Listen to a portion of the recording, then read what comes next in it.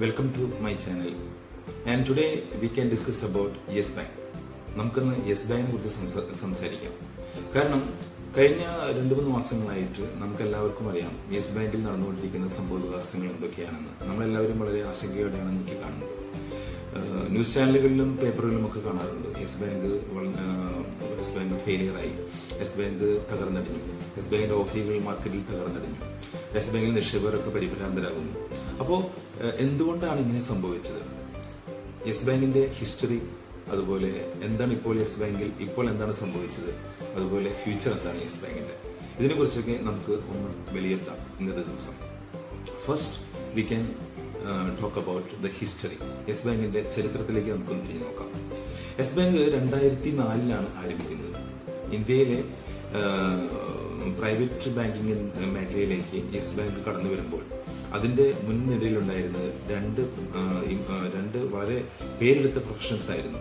രണ്ടുപേരും വിദേശ രാജ്യങ്ങളിലെ ബാങ്കുകളിൽ വളരെ ഉന്നത സ്ഥാനം വഹിച്ചിരുന്ന വ്യക്തികളായിരുന്നു. One mister Rana Kapoor and mister Ashok Kapoor ഇവർ രണ്ടുപേരും നേതൃത്വത്തിലായിരുന്നു യെസ് ബാങ്ക് സ്ഥാപിക്കപ്പെട്ടത്. പിന്നീട് രണ്ടായിരത്തി എട്ടിൽ നടന്ന മുംബൈയിൽ നടന്ന ടെററിസ്റ്റ് അറ്റാക്കിലാണ് മിസ്റ്റർ അശോക് കപൂർ മരണപ്പെടുന്നത്. അപ്പോൾ രണ്ടുപേർ mister Rana Kapoor and mister Ashok Kapoor. അപ്പോൾ പിന്നീട് അശോക് കപൂർ രണ്ടായിരത്തി എട്ടിൽ നടന്ന മുംബൈ ടെററിസ്റ്റ് അറ്റാക്കിൽപ്പെട്ട് മരണപ്പെടുകയായിരുന്നു. തുടർന്ന് മിസ്റ്റർ റാണ കപൂറിന്റെ നേതൃത്വത്തിലായിരുന്നു യെസ് ബാങ്കിന്റെ പ്രവർത്തനങ്ങളെല്ലാം നിയന്ത്രിക്കപ്പെട്ടിരുന്നത്. അദ്ദേഹമായിരുന്നു യെസ് ബാങ്കിന്റെ മാനേജിംഗ് ഡയറക്ടറും സിഇഒയുമായിരുന്നത് പിന്നീട് തുടർന്നങ്ങോട്ടുള്ള കാലഘട്ടങ്ങളിൽ യെസ് ബാങ്കിന്റെ വളർച്ച വളരെ പെട്ടെന്നായിരുന്നു. രണ്ടായിരത്തി പതിനാല് മോഡി സർക്കാരിന്റെ ആരോഹണത്തിന് ശേഷം രണ്ടായിരത്തി പതിനാല് മുതൽ രണ്ടായിരത്തി പത്തൊമ്പത് വരെയുള്ള കാലഘട്ടങ്ങളിൽ യെസ് ബാങ്കിന്റെ വളർച്ച വളരെ ത്വരിത വേഗത്തിലായിരുന്നു. അമ്പത്തി അയ്യായിരം കോടിയോളമായിരുന്നു രണ്ടായിരത്തി പതിനാലിൽ യെസ് ബാങ്കിന്റെ ലോൺ ബുക്ക്. അതായത് മറ്റ് കടം കൊടുത്തിട്ടുള്ളത് യെസ് ബാങ്കിന്റെ മറ്റുള്ളവർക്ക് കൊടുത്തിട്ടുള്ള കടത്തിന്റെ കണക്കാണ് അമ്പത്തി അയ്യായിരം കോടി. അത് രണ്ടായിരത്തി പത്തൊമ്പത് അവസാനിക്കാറായപ്പോഴേക്കും രണ്ട് ലക്ഷത്തി നാൽപ്പത്തി ഒന്നായിരം കോടിയിലേക്ക് ഉയർന്നു. അറൗണ്ട് രണ്ട് ലക്ഷം കോടിയുടെ വർധനവാണ് ഈ കഴിഞ്ഞ അഞ്ച് വർഷത്തിനിടയിൽ ഉണ്ടായത്. തീർച്ചയായും മറ്റുള്ള എല്ലാ ബാങ്കുകളെ കമ്പയർ ചെയ്ത് നോക്കുമ്പോൾ യെസ് ബാങ്കിന്റെ വളർച്ച അത്രമാത്രം ഫാസ്റ്റ് ആയിരുന്നു. മറ്റു ബാങ്കുകാരൊക്കെ തന്നെ വളരെ അസൂയോടെ ആയിരുന്നു യെസ് ബാങ്ക് നോക്കിക്കൊണ്ടിരുന്നത്. നമ്മളുടെ ചാനലുകളിലൊക്കെ വന്നുകൊണ്ടിരുന്നു. യെസ് ബാങ്ക് വളരെ നല്ല ഷെയറാണ്. എല്ലാവർക്കും അത് അവരുടെ പോർട്ട്ഫോളിയോയിൽ അത് ആഡ് ചെയ്യണം അങ്ങനെ പറയുമ്പോൾ തന്നെ എല്ലാവരും റെക്കമെൻഡ് ചെയ്തുകൊണ്ടിരിക്കുന്ന സമയത്ത് തന്നെ യെസ് ബാങ്കിന്റെ ആ പീക്കിൽ നിന്ന് പെട്ടെന്നായിരുന്നു ഒരു റിസർവ് ബാങ്കിന്റെ വശത്തു നിന്നുണ്ടായിട്ടുള്ള രണ്ട് മൂന്ന് ഡിസിഷൻസ് ഉണ്ടായത്. യെസ് ബാങ്കിന്റെ ഫൗണ്ടർ ആയിരുന്ന മാനേജിംഗ് ഡയറക്ടറും സിഇഒയുമായിരുന്ന മിസ്റ്റർ റാണ കപൂറിന്റെ ചില പ്രവൃത്തികൾ അതിൽ സംശയം പ്രകടിപ്പിച്ച യെസ് ബാങ്ക് അദ്ദേഹത്തിന് അവിടുന്ന് നീക്കം ചെയ്യുവാനായിട്ട് ആവശ്യപ്പെടുകയുണ്ടായി. തുടർന്ന് മാർച്ച് ഒന്ന് രണ്ടായിരത്തി പത്തൊമ്പതിൽ പുതിയ സിഇഒ ആയിട്ട് മിസ്റ്റർ രവനീത് ഗിൽ ആണ് നിയോഗിക്കപ്പെട്ടത്. അദ്ദേഹവും വേറെ വിദേശത്തുള്ള ഒരു ഡച്ച് ബാങ്കിന്റെ വളരെ ഉയർന്ന സ്ഥാനം വഹിച്ചിരുന്ന വ്യക്തിയായിരുന്നു. അദ്ദേഹമാണ് അത് ഏറ്റെടുത്തത്.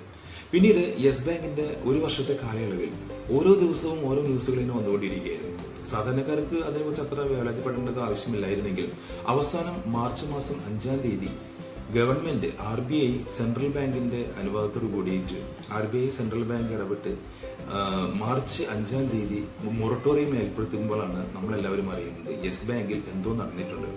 സാധാരണക്കാരായ നമ്മളെല്ലാവരും പെട്ടെന്നാണ് ഷോക്കായത്. പ്രത്യേകിച്ചും യെസ് ബാങ്കിൽ അക്കൗണ്ട് ഉള്ളവർ എല്ലാവരും തന്നെ വളരെ ആശങ്കകുലരായി. മറ്റു പ്രൈവറ്റ് ബാങ്കുകളിലുള്ള ഉള്ള ആളുകൾ പോലും ഇത്രയും വലിയ ബാങ്കായ യെസ് ബാങ്കിന് എന്ത് സംഭവിച്ചു? അങ്ങനെയാണെങ്കിൽ ഞങ്ങളുടെ ബാങ്ക് അക്കൗണ്ടൊക്കെ സുരക്ഷിതമാണോ? വളരെയധികം പാനിക് ആയിട്ടുള്ളൊരു സമയമായിരുന്നു. ആ സമയത്തായിരുന്നു ആർ ബി ഐ മൊറട്ടോറിയം ഏർപ്പെടുത്തി അമ്പതിനായിരം രൂപയുടെ മുകളിൽ യെസ് ബാങ്കിൽ നിന്ന് വിഡ്രോ ചെയ്യാൻ പറ്റത്തില്ല. അങ്ങനെയൊക്കെ പറയുമ്പോൾ നമ്മളെ പോലെയുള്ള സാധാരണക്കാർ പെട്ടെന്ന് പാനിക് ആവുകയാണ്. എന്താ കാരണം?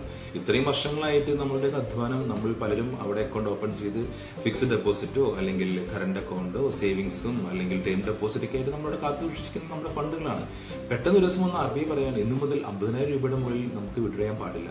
ഇത് കേൾക്കുമ്പോൾ ഉണ്ടാകുന്ന ഒരു അവസ്ഥ വളരെ വളരെ ഭീകരമാണ്. അക്കൗണ്ട് അതിന്റെ അവസ്ഥ മനസ്സിലാക്കാൻ സാധിക്കുക. എന്റെ വീഡിയോ കേൾക്കുന്ന ആരെങ്കിലും ഉണ്ടെങ്കിൽ അവർക്കത് തീർച്ചയായും മനസ്സിലായി കാണുമെന്ന് ഞാൻ പ്രതീക്ഷിക്കുന്നു. അതുപോലെ തന്നെ മറ്റൊരു വിഭാഗമാണ് യെസ് ബാങ്കിന്റെ ഷെയർ ഹോൾഡേഴ്സ്. നാനൂറ് രൂപ നാനൂറ്റി മുപ്പത് രൂപ വരെ പോയിട്ടുള്ള ഷെയർ ഹോൾഡ് ചെയ്യുന്ന വ്യക്തികൾ നാനൂറ് രൂപയ്ക്കോ മുന്നൂറ് രൂപയ്ക്കൊക്കെ വാങ്ങിച്ച ഷെയറിന്റെ വില അന്നത്തെ ദിവസം മൊറട്ടോറിയം ഏർപ്പെടുത്തി അഞ്ചാം തീയതി മൊറട്ടോറിയം ഏർപ്പെടുത്തിയതിനു ശേഷം ആറാം തീയതി ഈ ഷെയറിന്റെ value around five point six five rupees വരെ എത്തി. അപ്പോൾ എല്ലാവരും വളരെയധികം വളരെയധികം പാനിക് എന്ന് പറഞ്ഞു കഴിഞ്ഞാൽ മുന്നൂറ് രൂപയ്ക്ക് വാങ്ങിച്ച ഷെയറിന്റെ വില അഞ്ച് രൂപ എന്നൊക്കെ പറയുമ്പോൾ നിങ്ങൾക്ക് ആലോചിക്കാവുന്നേ ഉള്ളൂ ഊഹിക്കാവുന്നേ ഉള്ളൂ എന്തായിരിക്കും അവന്റെയൊക്കെ വിഷമം. പിന്നീട് അന്ന് തന്നെ ക്ലോസ് ചെയ്യുന്നത് പതിനാറ് രൂപ പതിനഞ്ച് പൈസയ്ക്കാണ് അതിനുള്ള കാരണം ഗവൺമെന്റിന്റെ വശത്തു നിന്നും ഒരുപാട് അറിയിപ്പുകളുണ്ടായി. അതുപോലെ പ്രൈവറ്റ് സെക്ടർ ബാങ്കിൽ ലീഡേഴ്സിന്റെ കയ്യിൽ നിന്നും പറഞ്ഞു. അവരും യെസ് ബാങ്കിനെ സപ്പോർട്ട് ചെയ്യാൻ തയ്യാറാണെന്ന് പറഞ്ഞു.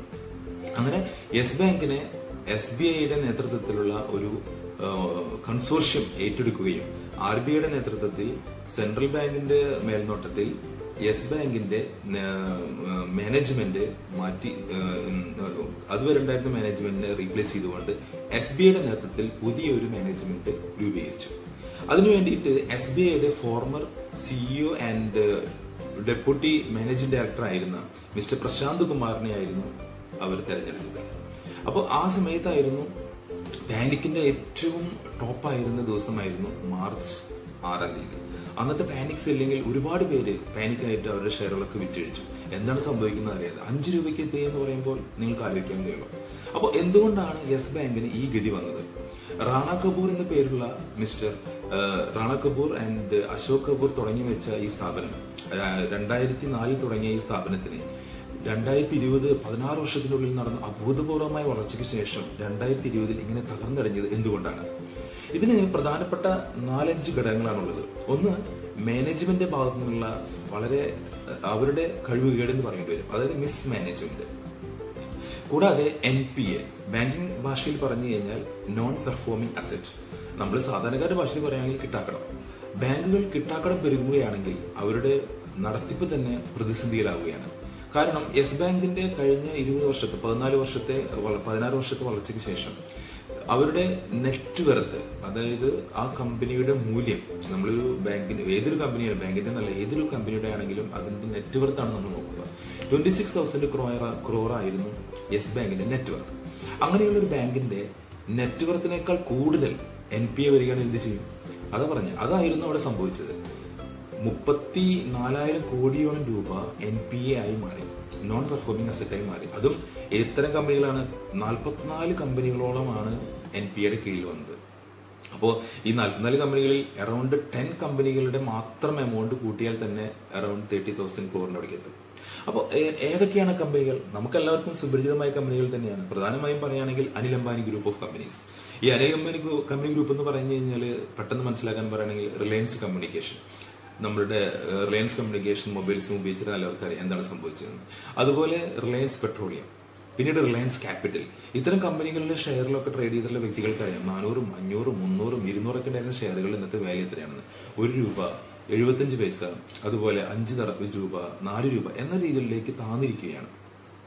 അപ്പോൾ ഈ അവസ്ഥയിൽ എത്തിച്ചതിന്റെ കാരണം ഈ കമ്പനികൾ അനിൽ അംബാനി ഗ്രൂപ്പ് ഓഫ് കമ്പനീസിന്റെ നിലനിൽപ്പ് തന്നെ പ്രശ്നത്തിലായി. അപ്പോൾ പിന്നെ അവർക്ക് എങ്ങനെയാണ് പൈസ തിരിച്ചടയ്ക്കാൻ സാധിക്കുക?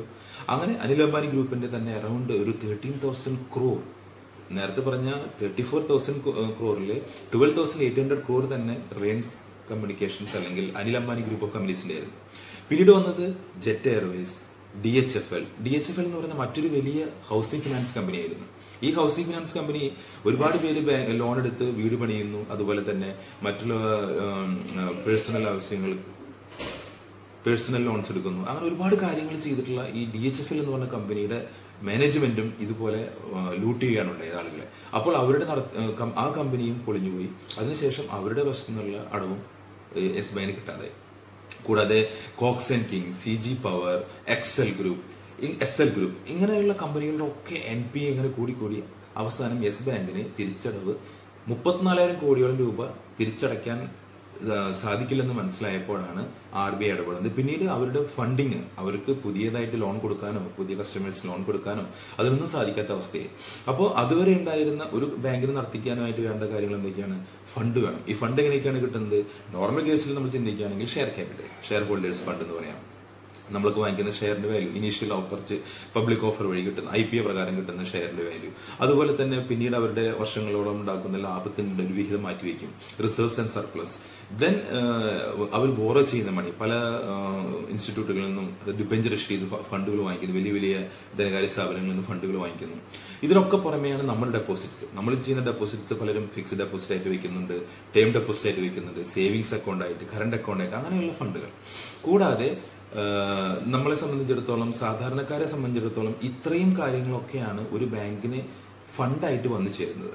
പിന്നീട് ഈ ഫണ്ടാണ് അവർ മറ്റുള്ളവർക്കായിട്ട് ലോൺ ഇതര ലോണും അതുപോലെ പേഴ്സണൽ ലോൺ കാർ ലോൺ അങ്ങനെയുള്ള എല്ലാതുമായിട്ടുള്ള അതാണ് അവരുടെ അസറ്റ്. അത്തരത്തിലുള്ള ലോണുകളാണ് ഈ നോൺ പെർഫോമിംഗ് അസറ്റ് ആയിട്ട് മാറുന്നത്. മറ്റ് ബാങ്കുകളെ അപേക്ഷിച്ച് യെസ് ബാങ്കിലെ പ്രത്യേകത എന്തായിരുന്നു വെച്ച് കഴിഞ്ഞാൽ യെസ് ബാങ്ക് ഒരിക്കലും കൂടുതൽ പേർക്ക് ലോൺ കൊടുക്കുന്നതിന് പകരം കുറച്ച് ക്ലയൻസിന് മാത്രം ലോൺ കൊടുക്കുക. അങ്ങനെ വരുമ്പോൾ അവർ ചിന്തിച്ച എന്താണ്? ഒരുപാട് റിസ്ക് എടുക്കുന്നതിന് പകരം കുറച്ച് കമ്പനികൾക്ക് കൊടുത്ത റിസ്ക് ഒഴിവാക്കി ആ ലോൺ പെട്ടെന്ന് തന്നെ അവരുടെ ടാർഗറ്റ് അച്ചീവ് ചെയ്യുക. അത്തരത്തിലുള്ള നടപടിയായിരുന്നു ഞാൻ നേരത്തെ പറഞ്ഞതുകൊണ്ടാണ് നാൽപ്പത്തിനാലായിരം കോടി എൻ പി എ മുപ്പത്തിനാലായിരം കോടി എൻ പി എ വന്നതുകൊണ്ടാണ് കുറച്ച് കമ്പനികൾ പത്ത് കമ്പനികൾ അതായത് രണ്ട് ലക്ഷത്തി നാൽപ്പത്തിനായിരം കോടി ലോൺ കൊടുത്തിട്ടുള്ള ബാങ്കിന്റെ മുപ്പത്തിനാലായിരം കോടിയോളം എൻ പി ഐ ഇത് വെറും നാൽപ്പത്തിനാല് കമ്പനികളുടെ ടോട്ടൽ എമൗണ്ട് ആണ്. ഇതിൽ തന്നെ പത്തോ പന്ത്രണ്ടോ കമ്പനികൾ ടോട്ടൽ കൂട്ടി കഴിഞ്ഞാൽ തന്നെ ട്വന്റി ഫൈവ് തൗസൻഡ് ക്രോറിന് മുകളിൽ വരും. അതുകൊണ്ടാണ് യെസ് ബാങ്കിന് നിലനിൽപ്പ് തന്നെ പ്രശ്നത്തിലായത്. ഇത് ഈ ഇത്തരത്തിലുള്ള ന്യൂസുകൾ കഴിഞ്ഞ ഒരു ആറെട്ട് മാസമായി കേട്ടുകൊണ്ടിരിക്കുന്നുണ്ട് ഒരു വർഷത്തോളമായിട്ട് അപ്പോൾ പല ഡെപ്പോസിറ്റേഴ്സും അവർക്ക് പേടി തോന്നിയുകൊണ്ട് ഫണ്ട് വിഡ്രോ ചെയ്ത് തുടങ്ങി. ഈ സാഹചര്യത്തിലാണ് റിസർവ് ബാങ്ക് പുതിയ നടപടിയായിട്ട് വന്നത്. മൊറട്ടോറിയം ഏർപ്പെടുത്തുന്നത്. ഇന്നത്തെ കഴിഞ്ഞ ബഡ്ജറ്റിൽ നിർമ്മല സീതാരാമൻ പറഞ്ഞ പ്രകാരം നമ്മുടെ ഇന്ത്യയുടെ ഫിനാൻസ് മിനിസ്റ്റർ പറഞ്ഞ പ്രകാരം ഒരു ബാങ്കിന് എന്തെങ്കിലും കാരണവശാൽ ബാങ്ക് തകരുകയാണെങ്കിൽ അല്ലെങ്കിൽ ബാങ്കിന്റെ ബാങ്ക് ഇൻസോൾവൻസി ആയി മാറുകയാണെങ്കിൽ ബാങ്കിന്റെ നടത്തിപ്പ് തന്നെ അവതളത്തിലാവുകയാണെങ്കിൽ ഒരു വ്യക്തിക്ക് മാക്സിമം വിഡ്രോ ചെയ്യാൻ പറ്റുന്ന എമൗണ്ട് ഫിഫ്റ്റി തൗസൻഡ് ആണ്. അത് ഏത് അക്കൗണ്ടെങ്കിലും ആയിക്കോട്ടെ. ഫിഫ്റ്റി തൗസൻഡ് റുപ്പീസിന് മുകളിൽ വിഡ്രോ ചെയ്യാൻ സാധിക്കില്ല. അപ്പൊ അങ്ങനെ ഒരു മൊറട്ടോറിയം പ്രഖ്യാപിച്ച് മാർച്ച് അഞ്ചിനായിരുന്നു. അതിനുശേഷം ഒരു മാസത്തേക്കാണ് മൊറട്ടോറിയം പ്രഖ്യാപിച്ചത്. പിന്നീട് റിസർവ് ബാങ്ക് തന്നെ പെട്ടെന്ന് ഇത്തരത്തിലുള്ള നടപടികൾ മൂലം നമ്മുടെ ഫിനാൻഷ്യൽ സിസ്റ്റത്തിനെ അല്ലെങ്കിൽ നമ്മുടെ എക്കോണമി തന്നെ ഒരുപാട് ഇത് എഫക്ട് ചെയ്യുന്നു കണ്ടപ്പോൾ അവർ തന്നെ പിന്നീട് മാർച്ച് പതിനെട്ടാം തീയതി വൈകുന്നേരത്തോടു കൂടി തന്നെ മൊറട്ടോറിയം ലിഫ്റ്റ് ചെയ്തു. ആർക്ക് വേണമെങ്കിലും അന്ന് വൈകുന്നേരം ആറ് മണിക്ക് ശേഷം പതിനെട്ടാം തീയതി മാർച്ച് പതിനെട്ടാം തീയതിക്ക് ശേഷം ആർക്ക് വേണമെങ്കിലും അവരുടെ എമൗണ്ട് വിഡ്രോ ചെയ്യാനുള്ള ഓപ്ഷൻ അവർ കൊടുക്കുകയുണ്ടായി. പക്ഷേ ആ സമയത്ത് അതിനുള്ള ഓപ്ഷൻ എങ്ങനെയാണ് വന്നത്? എസ് ബിയുടെ നേതൃത്വത്തിലുണ്ടായ ഒരു കൺസോർഷ്യം അപ്പോൾ മറ്റ് വലിയ വലിയ private sector ബാങ്കുകളായിട്ടുള്ള I C I C I bank Axis bank H D F C bank even നമ്മുടെ federal bank Kotak Mahindra bank I D F C first bank Bandhan bank ഇത്തരത്തിലുള്ള എല്ലാ private sector ബാങ്കുകളും അവരുടേതായ participate അവരെല്ലാവരും participate ചെയ്തു. ഈ yes ബാങ്കിന്റെ capital സ്വരൂപിക്കുന്നതിന് വേണ്ടിയിട്ട്. അവരെല്ലാവരും one thousand crore five hundred crore three hundred crore അങ്ങനെ എല്ലാവരും അവരാൽ പറ്റുന്ന രീതിയിലുള്ള ഇൻവെസ്റ്റ്മെന്റ് നടത്തി. അതുപോലെ എസ് ബി ഐയുടെ നേതൃത്വം S B I forty nine percentage ആണ് അതിൽ ഷെയർ ഹോൾഡ് ചെയ്യുന്നത്. അപ്പോൾ പുതിയ മാനേജ്മെന്റിന്റെ കീഴിൽ യെസ് ബാങ്ക് ഇപ്പോൾ സുരക്ഷിതമാണ്. ഒരു പരിധി വരെ എന്ന് നമുക്ക് പറയാൻ സാധിക്കും. കാരണം ജനങ്ങളുടെ ഇടയിലേക്ക് കൂടുതൽ വിശ്വാസ്യമായിട്ടുള്ള ഗവൺമെന്റിന്റെ നേതൃത്വത്തിലുള്ള എസ് ബി ഐയുടെ നേതൃത്വത്തിലുള്ള ഗവൺമെന്റിന്റെ നേതൃത്വത്തിലുള്ള ഒരു മാനേജ്മെന്റ് ആണ് ഇപ്പോൾ അത് കൺട്രോൾ ചെയ്യുന്നത്. അതുകൊണ്ട് തന്നെ നമുക്ക് ഇനി യെസ് ബാങ്കിന്റെ ഭാവിയെ കുറിച്ച് ചിന്തിക്കുകയാണെങ്കിൽ അത്ര പ്രശ്നം വരാൻ സാധ്യതയില്ല. ഇപ്പോൾ ഷെയറിന്റെ വില നോക്കുകയാണെങ്കിൽ അഞ്ച് രൂപ അറുപത്തഞ്ച് പൈസ ആറാം തീയതി മാർച്ച് ആറാം തീയതി വന്നതായിരിക്കും. പിന്നീട് പതിനെട്ടാം തീയതി ആയപ്പോൾ എൺപത്തിയേഴ് രൂപ അമ്പത് പൈസ വരെ എൺപത്തിയേഴ് മുപ്പത് പൈസ വരെ വന്നു. അതായത് അറൗണ്ട് ഒരു പതിനഞ്ച് ഇരട്ടിയോളം തന്നെ ഈ പൈസ വർദ്ധിക്കുകയുണ്ടായി. പക്ഷേ അവിടെ ഒരു പ്രശ്നം എന്താണെന്ന് വെച്ച് കഴിഞ്ഞാൽ ഗവൺമെന്റ് ഈ പുതിയ ടേക്ക് ഓവർ നടപടികൾക്കൊക്കെ ശേഷം മാർച്ച് പതിമൂന്നാം തീയതി മൺഡേ ആയിരുന്നു. ആ മൺഡേ മോർണിംഗിൽ അല്ലെങ്കിൽ അന്ന് അന്നാണ് അവരൊരു ന്യൂസ് പറയുന്നത്. അതുവരെ ഉള്ള എക്സിസ്റ്റിംഗ് ഷെയർ ഹോൾഡേഴ്സിന് എഴുപത്തഞ്ച് ശതമാനം ഷെയർ ഹോൾഡ് ചെയ്ത് ബാക്കി ട്വന്റി ഫൈവ് പെർസെന്റ് മാത്രമേ വിൽക്കാൻ സാധിക്കുകയുള്ളൂ. അതായത് ഒരു വ്യക്തി ആയിരം ഷെയർ ഹോൾഡ് ചെയ്യുന്നുണ്ടെങ്കിൽ അദ്ദേഹത്തിന് മാർച്ച് പതിമൂന്നാം തീയതി മുതൽ ഇരുപത്തഞ്ച് ഷെയർ മാത്രമേ വിൽക്കാൻ സാധിക്കൂ. അങ്ങനെ വരുന്ന സാഹചര്യത്തിലാണ് ഇപ്പോൾ ഒരു ഒരു വ്യക്തി ആറാം തീയതി അഞ്ച് രൂപ അറുപത്തഞ്ച് പൈസയ്ക്കോ അല്ലെങ്കിൽ ആറ് രൂപയ്ക്കോ അല്ലെങ്കിൽ പത്ത് രൂപ താഴെ വാങ്ങിച്ചിട്ടുണ്ടെങ്കിൽ അദ്ദേഹത്തിന് ആയിരം ഷെയറിൽ ഉണ്ടായത് പതിമൂന്നാം തീയതിക്ക് ശേഷം ഇരുപത്തി ഇരുന്നൂറ്റമ്പത് ഷെയർ മാത്രമേ വിൽക്കാൻ സാധിക്കുകയുള്ളൂ. അപ്പോൾ ആ ഒരു നടപടിയിലൂടെ ജനങ്ങളോട് ഇത് ഇതിന്റെ ഉദ്ദേശത്തിന് ഉണ്ടായിരുന്നുള്ളൂ. ജനങ്ങൾ പെട്ടെന്ന് വിറ്റൊഴിഞ്ഞു പോയി ഒരു പാനിക് ഇല്ലാതിരിക്കാനായിട്ട് ഷെയർ മാർക്കറ്റിൽ യെസ് ബാങ്കിന്റെ ഷെയർ പെട്ടെന്ന് ഇടിഞ്ഞു പോകാതിരിക്കാൻ അത്തരത്തിലൊരു നടപടി ഏർപ്പെടുത്തിയത്. പക്ഷേ അതിന് അതിന് അതുകൊണ്ട് തന്നെ എന്ത് സംഭവിച്ചു?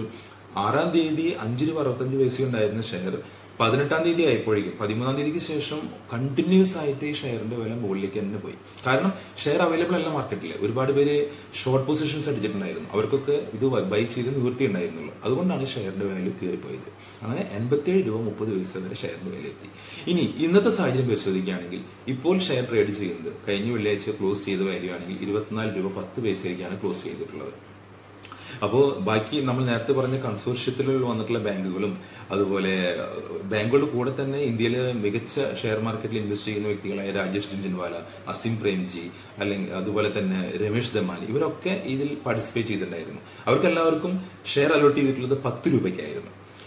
അതേസമയം തന്നെ എക്സിസ്റ്റിംഗ് ഷെയർ ഹോൾഡേഴ്സ് ഞാൻ പറഞ്ഞ നേരത്തെ ഇരുന്നൂറിനും മുന്നൂറിനും വാങ്ങിച്ച വ്യക്തികളോട് ഉണ്ട് പക്ഷെ അവരുടെ ഇന്നത്തെ ഷെയറിന് വില ഇരുപത്തിനാല് രൂപ പത്ത് പൈസയാണ്. അതായത് കഴിഞ്ഞ ഈ വ്യാഴാഴ്ച വെള്ളിയാഴ്ചത്തെ ക്ലോസിംഗ് ആണ് ഞാൻ പറയുന്നത്. അപ്പോൾ ഇതാണ് യെസ് ബാങ്കിൽ സംഭവിച്ചത്. ഒരു ബാങ്ക് നടത്തിക്കൊണ്ടുപോകേണ്ട വ്യക്തികൾ തന്നെ അതിന് പാര പണിയുന്നതിന്റെ ഒരു വ്യക്തമായ ഉദാഹരണമാണ് നമ്മൾ കണ്ടത്. യെസ് ബാങ്കിന്റെ ഞാൻ നേരത്തെ പറഞ്ഞ ഫൗണ്ടറും മാനേജിംഗ് ഡയറക്ടറും സി എഫ് ഒയും ആയിരുന്ന മിസ്റ്റർ സി ആയിരുന്ന മിസ്റ്റർ റാണ കപൂർ ആയിരുന്നു ഈ പല ലോണുകൾക്കും നേരിട്ട് അപ്രൂവൽ കൊടുത്തിരുന്നത്. അപ്പോൾ ഒരു എക്സാമ്പിൾ നേരത്തെ പറഞ്ഞിരുന്നത് എന്താ വെച്ച് കഴിഞ്ഞാൽ ഗവൺമെന്റ് നേതൃത്വത്തിൽ റാണ കപൂറിനെ പിന്നീട് അറസ്റ്റ് ചെയ്യുകയുണ്ടായി. കഴിഞ്ഞ മാർച്ച് മാസം പകുതിയോടുകൂടി അദ്ദേഹത്തെ അറസ്റ്റ് ചെയ്യുകയുണ്ടായി. പിന്നീട് വിശദമായി പരിശോധിച്ചപ്പോഴാണ് മനസ്സിലാകുന്നത് പല ലോൺ കൊടുത്തിട്ടും ബാങ്കിന്റെ പേരിൽ one thousand crore two thousand crore ഒക്കെ പലർക്കും കൊടുത്തതിന് ശേഷം ലോൺ തിരിച്ചടയ്ക്കുന്നത് അദ്ദേഹത്തിന്റെ പേഴ്സണൽ അക്കൗണ്ടിലേക്ക്. അപ്പൊ അത്തരത്തിൽ ഉള്ള ചില നടപടികളൊക്കെ കാണുമ്പോൾ നമുക്കൊക്കെ എങ്ങനെ വിശ്വസിക്കാൻ പറ്റും? നമ്മുടെ ബാങ്കിങ് സിസ്റ്റത്തിൽ എന്തൊക്കെ തിരുമറികൾ നടക്കാൻ സാധിക്കും? അതും ഒരു ഫൗണ്ടർ തന്നെ ഇങ്ങനെ ചെയ്യുകയാണെങ്കിലും അതൊക്കെയാണ് യെസ് ബാങ്കിന് സംഭവിച്ചത്. എന്തായാലും ഗവൺമെന്റ് വളരെ നല്ല രീതിയിൽ ഇടപെട്ടു. റിസർവ് ബാങ്കിന്റെ നേതൃത്വത്തിൽ അത് ടേക്ക് ഓവർ ചെയ്തു. ഇപ്പോൾ വളരെ സേഫ് ഹാൻഡിൽ തന്നെയാണ് നമ്മളുടെ യെസ് ബാങ്ക് ഇരിക്കുന്നത്. അതുകൊണ്ട് തന്നെ മറ്റു പ്രൈവറ്റ് ബാങ്കുകൾക്കൊക്കെ ഒരു നമ്മളെ പോലെയുള്ള ഇൻവെസ്റ്റേഴ്സ് പല ബാങ്കുകളിൽ ഇൻവെസ്റ്റ് ചെയ്തിട്ടുള്ള സാധാരണക്കാരായ വ്യക്തികൾക്ക് പ്രൈവറ്റ് ബാങ്കുകളുടെ ഒരു പക്ഷേ അത്തരം ബാങ്കുകളോടുള്ള ഒരു വിശ്വാസം നഷ്ടപ്പെടുന്ന സാഹചര്യത്തിലാണ് ആർ ബി ഇത്തരം നടപടി സ്വീകരിച്ചത്. തീർച്ചയായും. ഇനിയുള്ള നാളുകളിൽ യെസ് ബാങ്കിലേക്ക് ഇൻവെസ്റ്റ് ചെയ്യുന്നത് കൊണ്ട് നമുക്ക് അത്ര ബുദ്ധിമുട്ട് അത്രയ്ക്ക് അത്ര മുൻ നേരത്തെ പോലെ അത്ര തന്നെ ഒരു പ്രശ്നം ഉണ്ടാകാൻ വഴിയില്ല. കാരണം പത്ത് രൂപയ്ക്ക് ചെയ്ത ഷെയർ ഇപ്പോൾ ട്രേഡ് ചെയ്യുന്നത് ഇരുപത്തിനാല് രൂപ. മാക്സിമം ഒരു ഷെയറിന്റെ വാല്യൂ താഴേക്ക് പോകുന്നുണ്ടെങ്കിൽ പത്ത് രൂപ വരെ പോയിന്ന് വരാം കാരണം മറ്റു ബാങ്കുകളും ഇതിലെ മേജർ ഷെയർ ഹോൾഡേഴ്സ് ഒക്കെ ഹോൾഡ് ചെയ്യുന്ന ഷെയറിന്റെ വാല്യൂ ടെൻ റുപ്പീസ് ആണ്. അപ്പോൾ അവരൊരിക്കലും പത്ത് രൂപയ്ക്ക് താഴെ പോകാനായിട്ട് ഷെയർ അനുവദിക്കുന്നില്ല അതുകൊണ്ട് നിങ്ങൾക്ക് ആർക്കെങ്കിലും പുതിയതായിട്ട് ഷെയറിൽ ഇൻവെസ്റ്റ് ചെയ്യാനായിട്ട് അതായത് യെസ് ബാങ്കിൽ ഇൻവെസ്റ്റ് ചെയ്യാൻ താല്പര്യം താല്പര്യപ്പെടുന്നുണ്ടെങ്കിൽ ഈ അവസ്ഥയിൽ പ്രത്യേകിച്ച് കോവിഡ് മൂലമുള്ള ഈ പ്രശ്നം നിലനിൽക്കുന്നതുകൊണ്ട് തന്നെ രാജ്യത്ത് ഇനിയും ഫിനാൻഷ്യൽ ക്രൈസിസിലേക്ക് പോയിക്കൊണ്ടിരിക്കുന്ന ഈ വേളയിൽ എല്ലാവരോടും എനിക്ക് പറയാനുള്ളത് ചാടി കയറി നമ്മൾ യെസ് ബാങ്കിന്റെ ഷെയർ വാങ്ങിക്കണമെന്നില്ല.